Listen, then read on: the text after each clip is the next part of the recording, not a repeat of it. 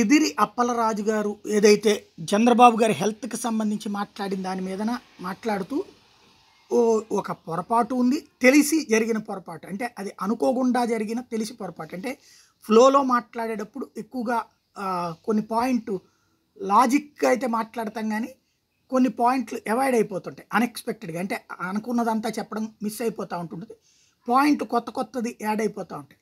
వాస్తవంగా తెలుగుదేశం వాళ్ళు ఆయన్ని పశువుల మంత్రి అని విమర్శిస్తున్నారు. ఆయన వెటర్నరీ డాక్టర్ అంటూ అంటూ మాట్లాడారు.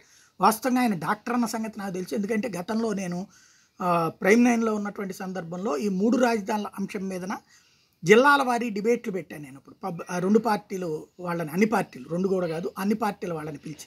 అప్పుడు నేను ఆ శ్రీకాకుళం విజయనగరం అట్లా వెళ్ళినటువంటి సందర్భంలో ఆయన రావడం దాంట్లో చిట్ట చివరి దాకా కూడా పార్టిసిపేట్ చేశారు. అందువల్ల అప్పుడే ఆయన ఆయన పరిచయం కూడా చేసుకున్నారు మొదటిసారి. అందువల్ల ఆయన డాక్టర్ అన్న సంగతి తెలుసు.